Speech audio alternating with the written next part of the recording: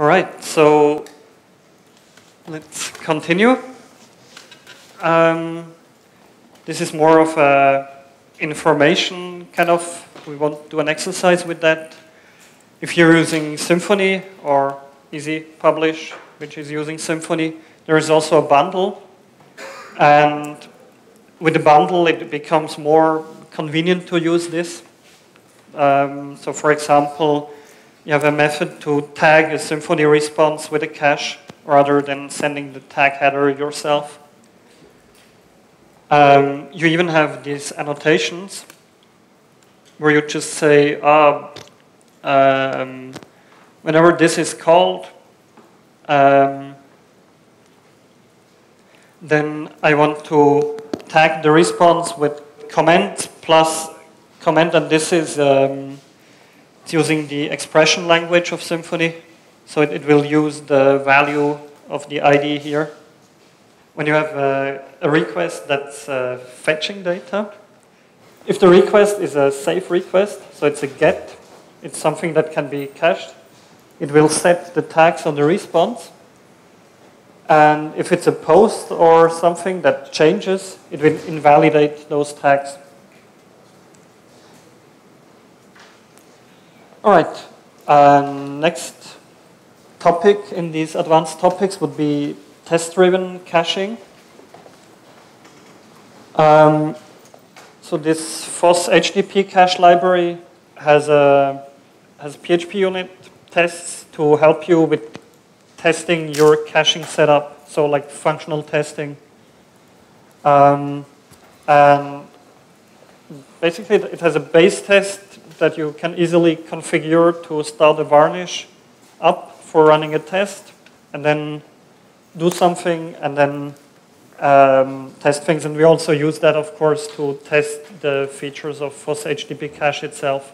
That's what we started with, and then we realized actually it could be useful outside of the library itself. You could use it to test your own things. Um, so let's try this. Um, there is this tests cache test and an exercise called post.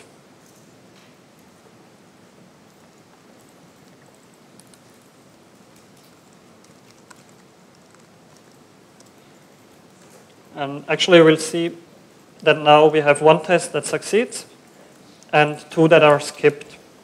And the idea is to uh, do what's explained here in the test file. So we have this first one, which, um, so one of the things you have is an assertion for miss and hit. And we just say, uh, if we fetch this, and then we fetch it again, first time is a miss, the second is a hit. And between each test, Varnish is restarted, so it will forget everything, so the tests don't interact with each other. So the idea would be to remove this line and go to um, here. We have this invalidation. If you have not, if it's commented out, comment it in. Here you don't need to restart Varnish because the test is going to launch varnish on a different port and doing that for you, it's not using the other varnish.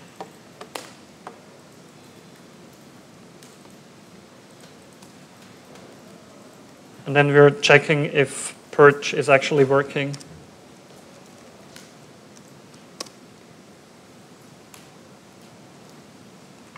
So as soon as you have this commented uh, out, in, whatever, not commented, then it works or it should. Do you see green tests? Who is not green? Everybody green? Not really?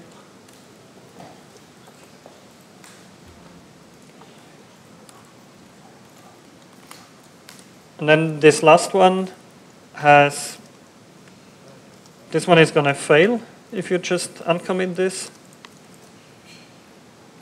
And we will see that uh, there was a failure, um, there was a cache miss.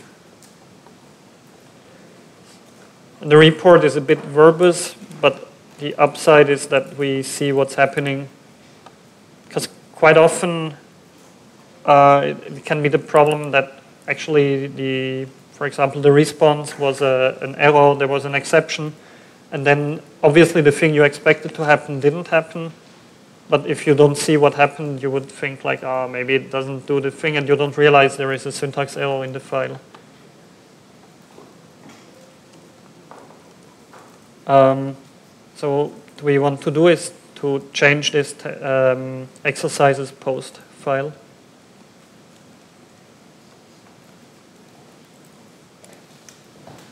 Which is here.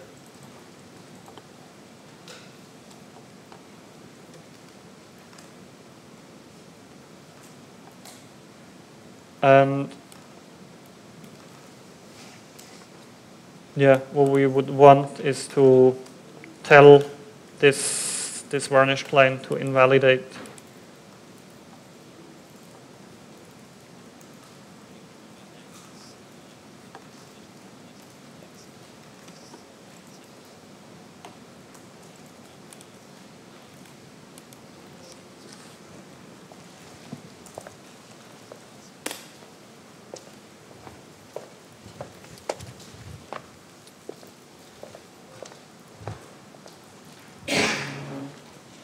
So who is seeing green tests? Green, anybody?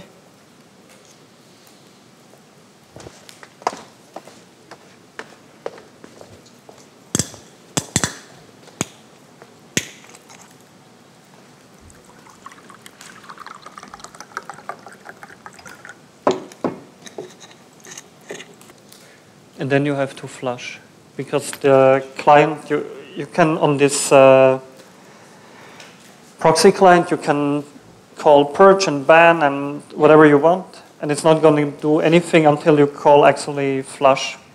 No. And when you use the Symfony bundle, the, the, the, idea of that is that after a kernel, like on the kernel terminate event, after the response is already sent to the client, it would call flash, flush. So the request is not delayed by doing network requests to Varnish.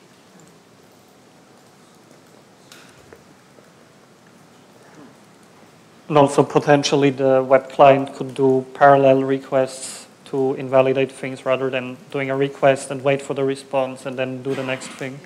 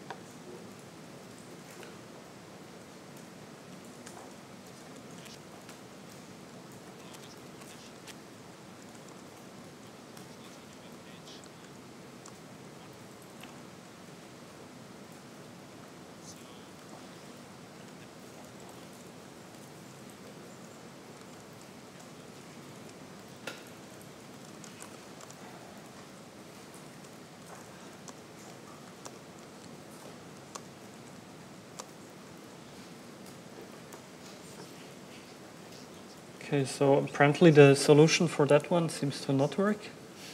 Uh, so bonus points if you find out the right solution. um,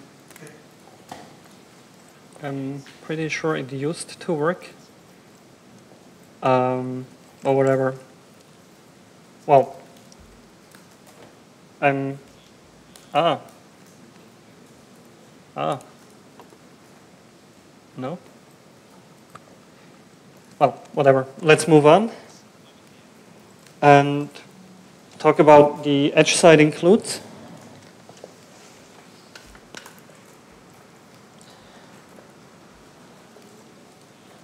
So the, the idea of an edge side include is that you, you can have a page where most of what's on that page can be cached, but there is maybe something on it that cannot be cached.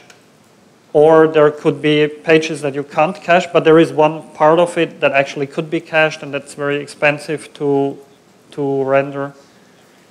And in these cases, you can use something called edge side includes, which the, the application will put in some place in the content, it will just put a URL and a special tag saying here, there should be something else that can be fetched at that other URL, and Varnish will read the content and see, oh, so here there is a there is this edge side include, so I have to fetch something else and include that, copy that there.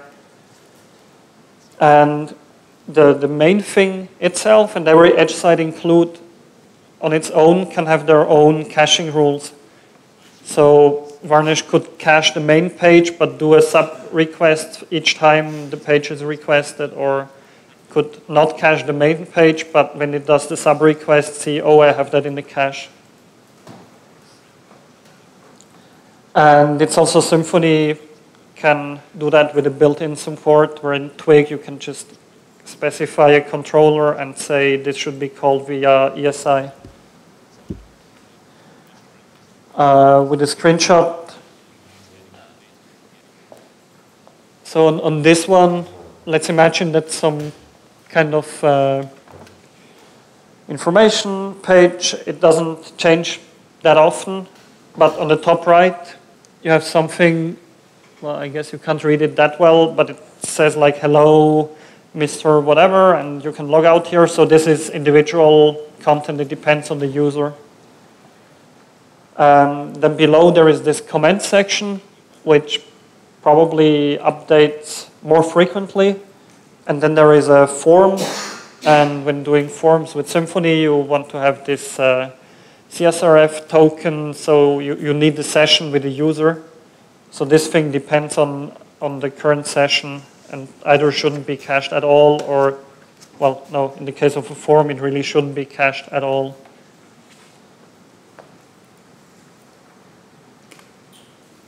And, well, if you do Symfony, you would use this uh, Twig expression to say ESI, but the basic thing is really just this.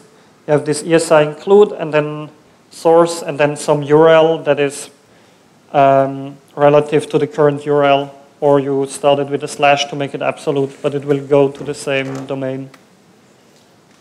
Um, yeah, that's just a detail. If you ever want to do ESI in something like JSON data, uh, it only does it on HTML unless you specifically enable it. In VCL, you need to add a little bit of information because if you don't, so this thing is telling the backend, um, like the Symfony application, hey, there is something in front of you that knows about ESI, so you can tell me these ESI includes. And if you don't, Symfony will see that and say, oh, I don't know if anybody is going to understand ESI. The browser is not going to understand that, so I better resolve it all myself. And then Symfony is doing, is doing the ESI, and you don't have Varnish doing it, which would be more efficient if Varnish does it. And in, in the response, we, if the backend said like, oh, actually I'm doing ESI here, then we, we need to tell Varnish to do it, to look for ESI information in the content. And usually we also want to remove this header, which was telling that there is ESI because the outside world shouldn't know or, I mean, it doesn't do any harm, but usually I prefer to not leak information about implementation details to the outside. And also, if there is something like some other servers in front of the varnish that would also be capable of ESI, they might be tricked into, into analyzing the content again and being less efficient. So let's try that. In the common VCL, there is this include for an ESI. And so actually, this one is 8888, not 8080, the port to get to um, Apache directly.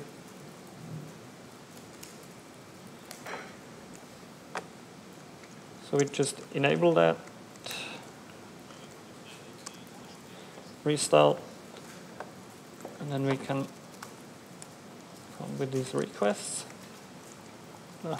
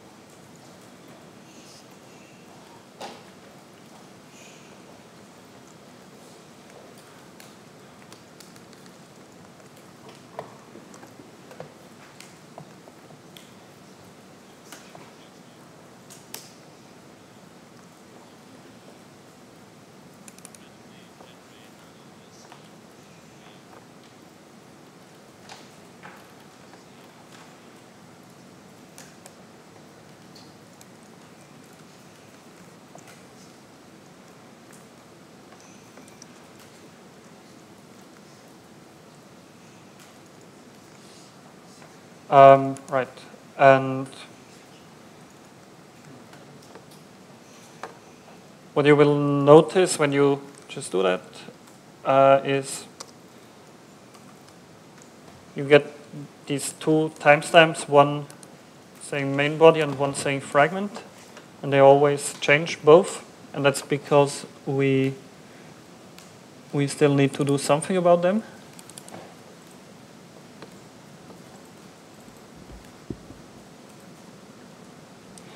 Um, so the idea is that um, the, the main page is really slow. So we, we simulate that by sleeping a second and then outputting the date.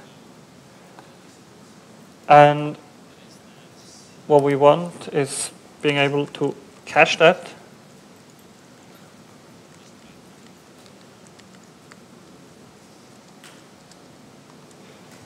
but this part must not be cached. So, so we can move that to a new file.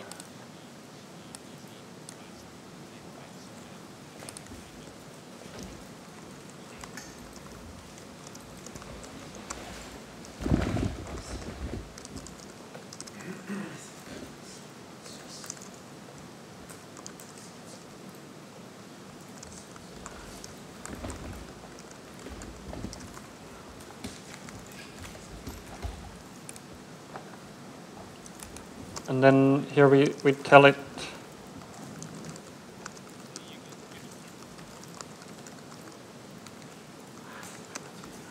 to include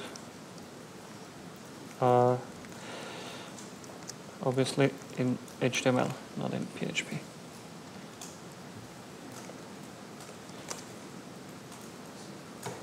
Now it was still slow, and now it should be faster. Oh, wow. Um, something didn't work here.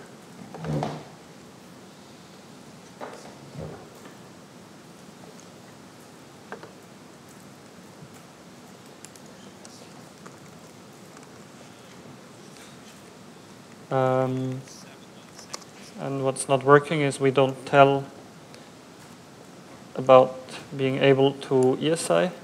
So we, we need to do that.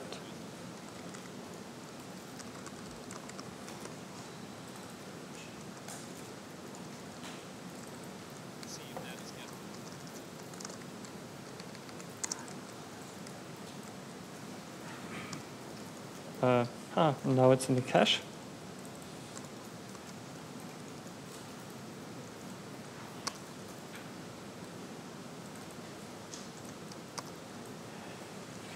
Now we're good. So now this state, which is in the main body, doesn't change, and this one from the fragment updates all the time. So what we did is tell Varnish that we actually do ESI in this page and have this instruction and move the other part here. And then we can have different caching on different parts of the content.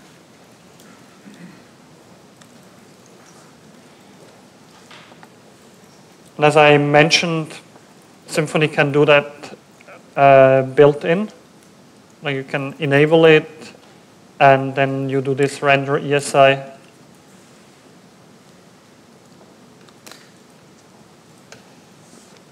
Still alive? Still okay? I couldn't keep up the data. Um, and the, the ESI exercise is also in the solutions folder. Okay. So maybe have a look at that later. Um, so ESI is pretty cool. It has also its limitations because when Varnish is parsing the response, when it finds the ESI tag, it's going to do a call to the backend and wait for the response, or call to the backend. It will look up the ESI URL, and if that's not cached, it goes to the backend, comes back, puts that in. If there is another ESI, it repeats. So if you have like 20 ESI and each actually needs to do a call to the backend, your page is actually going to be horribly slow. So use it with caution or uh, still, it's not a magic bullet that solves all problems. Um, so one of the last topics for this workshop is about caching and sessions. So um, once the user is logged in, like the, the, the assumption is that he will see individual content, which in turn makes Varnish whenever it sees the cookie, it stops caching, as I said. So um, one thing is if you don't need a session, make sure that you don't trigger one. There is in Symfony, there is a cookbook page explaining what to do to avoid sessions when you don't need them.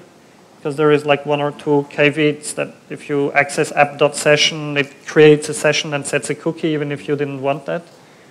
Um, or even if you have some pages where you need a session, try to destroy the session again, remove the cookie again, and kind of related to that, there is uh, some examples on the Varnish documentation how to clean up cookies. Because what you actually would want to know about is probably the a session cookie. But if you use stuff like uh, Google Analytics or some JavaScript frameworks, you might end up with cookies that were created by JavaScript that will be sent to the server, but actually your server, your application, doesn't care about them and in VCL, you can rewrite the cookie header to remove everything but, for example, a PHP session ID. And then if there is no PHP session ID, it will become empty, and then you can remove the cookie header. And that way you get rid of cookies that don't matter. Or in some situations, it actually can make sense to say, uh, we still do a cache lookup, even if there is a cookie. And then either the backend will reply with the no cache header when the page actually depended on having a cookie, and otherwise it caches. But that's a bit dangerous if, uh, if some of the developers don't think about that, and when testing locally there is no varnish, so you totally don't notice that you created a horrible bug. Uh, another case for some situations could be to vary on the cookie header. So when you remember that screenshot before, there was one area with, uh, hey, you're logged in, hello, Mr. Buchmann, and that's something where it could make sense to vary on the cookie because I will see the same thing all the time, but you will see something different and he's not logged in, he does not see that, or he sees a login link. So it, it depends on the cookie what you see there. And when using ESI, if that thing varies on the cookie and the rest uh, doesn't vary on the cookie and both can be cached, then after the first request, Varnish will just be able with the ESI to stick together the page from different elements from the cache. And then the last thing, which is a bit more involved, quite interesting, is this uh, idea of contexts, where we say, depending on what group you are in in the backend or on some information like this, uh, we decide, we, we split the cache on that. Um, oh, actually I copied that here, but whatever you find that on the Varnish documentation, it's just some regular expression magic to remove everything but the PHP session ID. Um, then this one would be to, to remove the session in PHP. If you're doing Symfony, that will look a bit different, I think. But anyway, the, the basic idea is you set the cookie uh, to be valid until some time in the past. And then it goes away and the browser will stop sending the session cookie. So about this user context thing, it was actually a contribution by eZ Publish to the FOS HTTP cache because it's something they apparently were doing somehow before. And then they wanted to make it more generic, more general. And so the basic idea is this. You have the request coming in. It goes to Varnish. Varnish looks at that request and before it goes to the cache or goes to the backend with the request, it, it creates a request to the backend saying, with, with a special accept type, saying, I need some hash for this user. And the backend sees that. It has the, the cookie, it has all the authentication information it would have on the request normally. It determines the user, and then based on that user can create a hash, which typically in a Symfony application, you would look at the roles that user has and then do some MD5 over the roles or something like that, so that everybody who has the same roles will have the same hash, everybody who has different roles will have a different hash. And then the hash is sent back, it goes to Varnish, and Varnish adds that hash to the, to the request and says like this is the, the the context hash. And now it sends the original request to the backend and looks in the cache, sees if I have this uh, hash on the request, do I have that in the cache? And if not, goes to the backend. The backend receives again a request with the credentials of a specific user. And then based on that works, does the thing, decides like what is he allowed to see, what can he see, what can he do, renders a page, sends the response, and Varnish caches that, and the backend will use the vary header. If the context actually mattered, it will say this varied on this context hash. If it's an individual thing, it might say, oh, this varies on the cookie or it might need to say like you can't cache that at all. But the important thing is Varnish would, if it was different just on this hash, it can store it. And it can use the vary system to then cache pages of logged in people. Because if, if we're all in the same group for the application, we all have the right to see the same thing, we could share a cache. Only those people in a different group shouldn't share the same cache if, if the content only depends on the group and not really on the individual. So that's the idea of user context caching. Um, so we have a demo for that, which, so this one is really a, a demo and not something to code yourself today. Um, we'll have to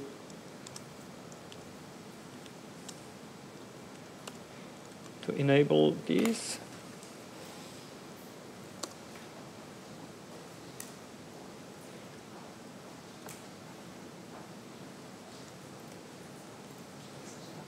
And here it is. So you can go to this page. Uh, I don't see anything here because the screen is so small. Um, yeah, whatever. What we want to see is, is that one.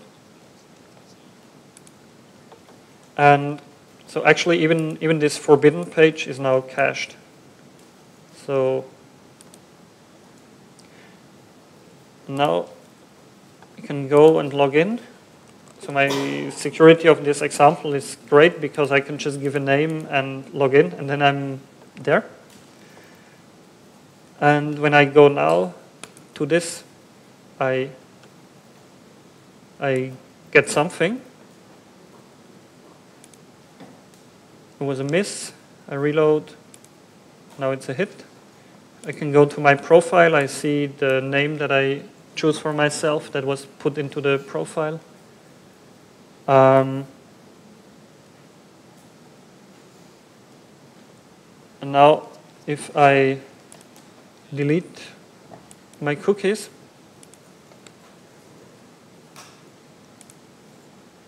I get back to this thing, it's still a hit. And if I log in again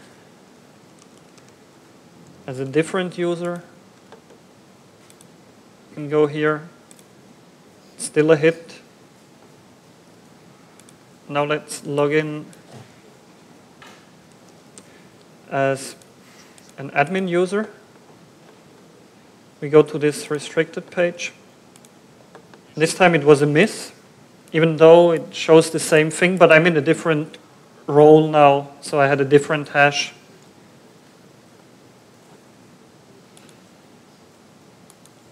Um, so the whole idea is that you can cache pages and that on the backend side you don't need to rewrite a lot of your application because you're still using the, the one actual user that had a cache miss to determine what is he allowed to see, what can he do. So the backend, when rendering a response, is not really the not really using that hash value. It's just using the real user that happens to be the one triggering the cache miss. And the hash is just there for Varnish to be able to vary on uh, on on the hash.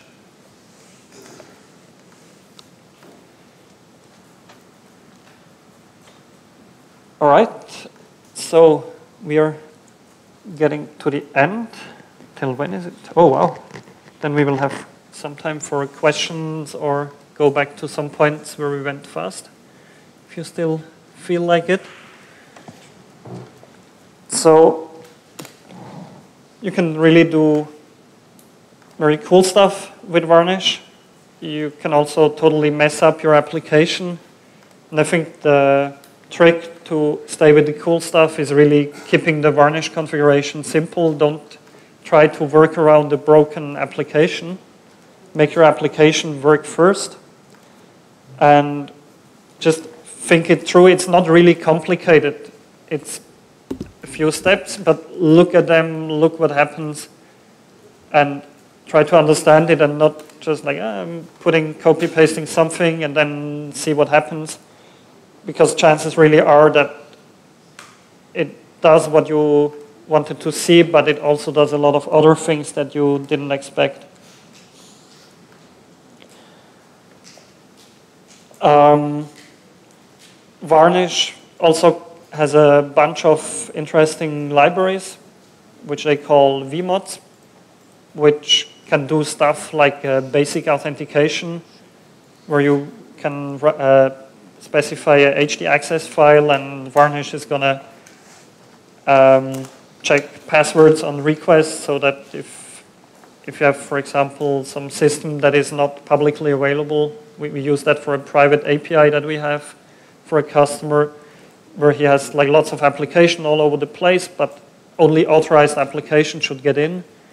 So we do the basic authentication in Varnish to avoid putting the, the load on the backend to validate and find out that actually there is no basic authentication.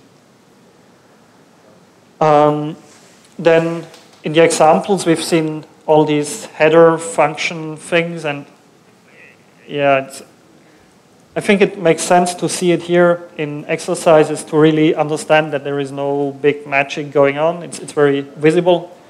But if you write some project, if you have an application, try to use some framework that has a request and response objects. And if it's only for being able to start working on what's the body of the response, and then you can still add things to the header, for example, which is something you can't do if you do plain PHP and just header, and then as soon as you echo something, you cannot add more headers. Um, for the invalidation, this uh, FOS HTTP cache client is really quite handy. It, it abstracts the things and makes you independent also from what kind of cache you're using. It works with the app cache of Symfony, it works with Varnish, and it works with Nginx. And if you have something else, then you could just write your client instead of re-implementing the whole concept. And if you're using Symfony, then take a look at the FOS HTTP cache bundle, which provides all that as a service and, for example, allows you to configure the cache headers in Symfony configuration on based on, on the URLs and such things. So like basically like you configure security rules, you can configure cache rules.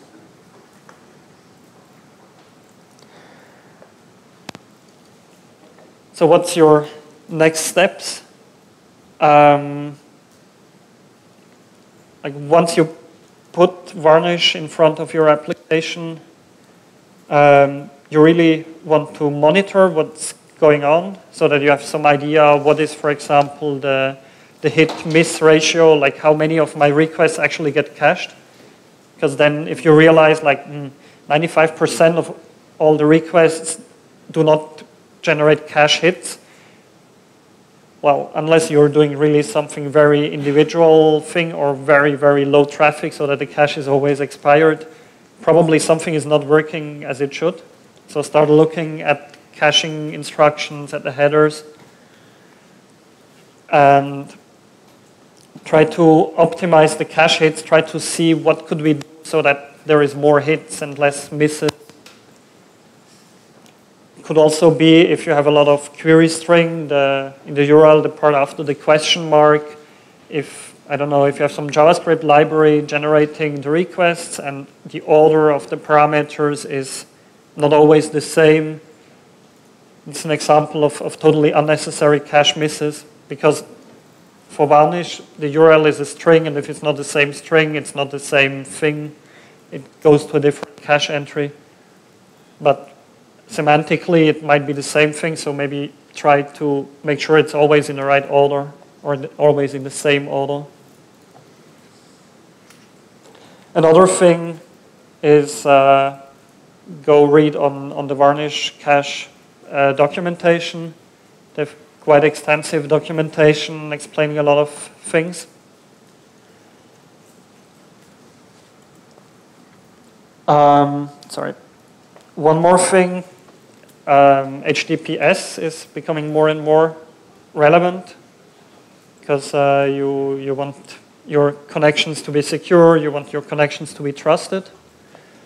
And the open source free Varnish doesn't do HTTPS.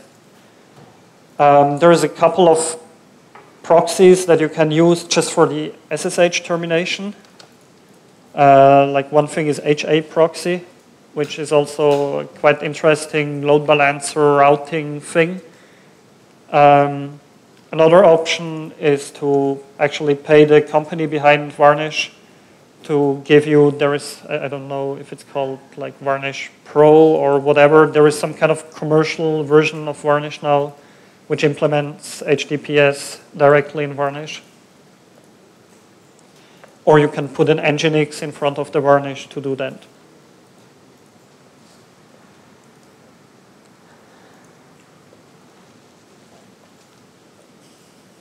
So, um, well, not really wanting to say what I just told is irrelevant, but actually, in a lot of cases, what matters a lot more is front-end performance. So if your page is loaded in a browser and actually on a real browser in a real world scenario, it takes like five seconds to load all the JavaScripts and the 15 images and then do a lot of JavaScript logic to actually render the page.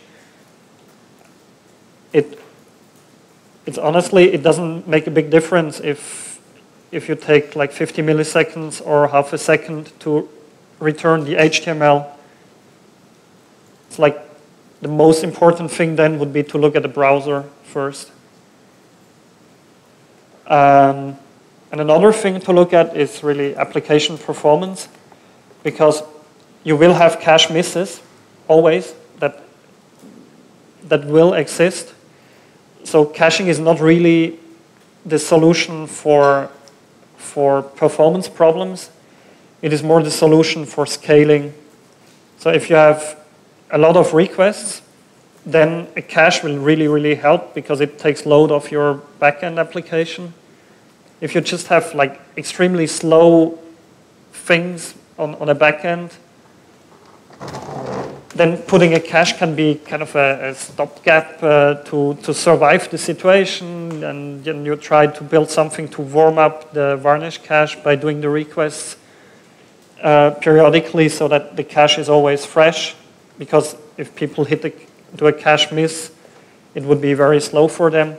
But then the next thing really is to look into the application and see why is it so slow? Can, can we make it better? All right, and I think that's it. Um, I will put these slides uh, somewhere on the internet and link that from the from the joind.in page. I've seen there is a there is not only the Netgen site, there is also a joind.in event for summer camp. So I will put these slides there if you want to look at them later. And if you have any questions, now would be the moment to ask them. Um, if at some point my cache is so good that if it goes down, um, then it the application is uh, breaking down and the cache can't warm up because the application is too slow to handle all the traffic. Um, how do you have a tip on how to monitor when um, such to, to monitor the traffic and to say now it's going to be critical or um, if my, my cache is going down? How, how do I know if I can restart my cache at some point uh, be, uh, without um, putting the whole site down? Um, so we've actually experienced this situation where like deployments that invalidated the whole cache led to to like the whole thing not working for a while until it recovered and rebuilt the cache. Um, what you basically really want to do is monitor and, and have statistics to have an idea like how many requests per minute or per second do I have and what's the average time, what's like the extreme times that I see. And when you look at that over a longer period of time, you will, for example, you will see like, is it constantly increasing and increasing? And if it's like increasing constantly, then like the response times, for example, the load on the server, it, it's an indication that you're, you're running into potential problems. Um, but in the end, um, you, and then you can also see like, is there like a curve during the day of, of peak times and load times? Maybe you can time the deployment to that, which should already help. Because there is really, there can be the situation where if you go down at peak time, the backend will just be overloaded, or the alternative, you have so much backend over provisioning power that that it could survive that, but then you will have like a totally idle backend most of the time. So there is a trade-off. Um, I never did that, but potentially if you go with, with something like the Amazon cloud or some other cloud system, you, you might prepare a new deployment and set up more instances for the occasion of, of the cache being reset. Could be something. Uh, has Varnish something built into, I don't know, um, discard every second request or something to, to let the application come up again? Uh, not that I would know, no. Okay. It, it, it doesn't do any kind of throttling or things like that. So yeah, you, you would have to look, uh, I, I, think the HA proxy I mentioned, for example, has that. So that could be something you put HA proxy and do the SSL termination and do some, some kind of limit how many requests you even pass on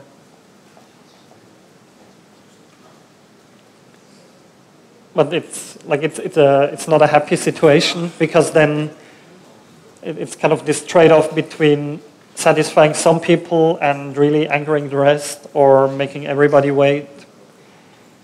So it, it's really, as I said, you, you want to fix the back end to, to be not too slow.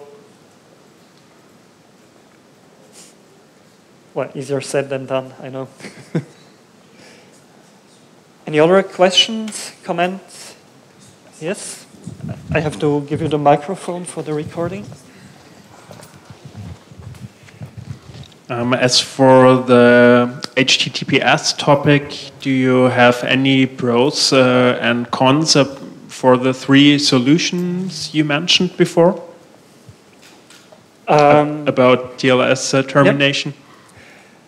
Yep. So personally, I, I find HA proxy quite neat. It's simple. It's really doing that one thing, termination and sending requests to other servers. It's not trying to do any magic things on top of that, which keeps it really like focused. Um, on the other hand, using uh, using the Varnish, uh, whatever commercial version could be a thing if you want to avoid having even more systems. It, it keeps it a bit easier to see like, oh, okay, that's all happening in here. Um, but then you don't have the separation and also the, the HA proxy or some load balancer. Like there is also some non-open source load balancer or even appliances. Um, and those are really, they, they can at the same time do the SSL termination and then spread the load on different servers and keep track of what's running and what's not running. So you probably want something like that anyway, and then it can just as well do the termination. And usually, if you have like this um, your server location, it, it makes sense to have the first thing or very early on you do the SSL, and from then on inside your your system, inside your uh, hosting system, you don't need to encrypt anymore. And if you would use SSL inside for the communication inside, it just adds load to the systems and it makes it harder to debug what's going on. Does that answer the question? Um, as for performance, um, there are no big differences between the solutions. Um, I wouldn't have any numbers, so can't tell when, when you go, like when you push it to the extremes, what would be the best case, but probably then it also depends on things like do you download big files or do you have tons of small requests? It, it can make so much difference. But then I think in, in general, like having separate machines for the, the termination and for Varnish and for the web server is probably a good idea because then you can scale the layer that is the bottleneck. So if you realize like whatever, okay, Varnish is like really busy and I have these 100 gigabyte of RAM in the machine and adding more RAM is just too expensive, uh, you can add more machines. Or you realize like one Varnish can easily handle that, but the backends are the problem. So I just put like five application servers to scale that, and I can go with one or two varnishes. Probably you want two, so that when one crashes, you're not dead. But so splitting them keeps you more flexible. Okay, thank you. Other questions? Do you have experience with um, Nginx used as a cache? And Um, how does it compare to Varnish? I myself I don't have experience with it. The FOS HTTP cache is supporting it, so there is actually tests in it uh, showing that the purge and refresh work, but I I never used it to cache, so I don't know. Okay, thank you.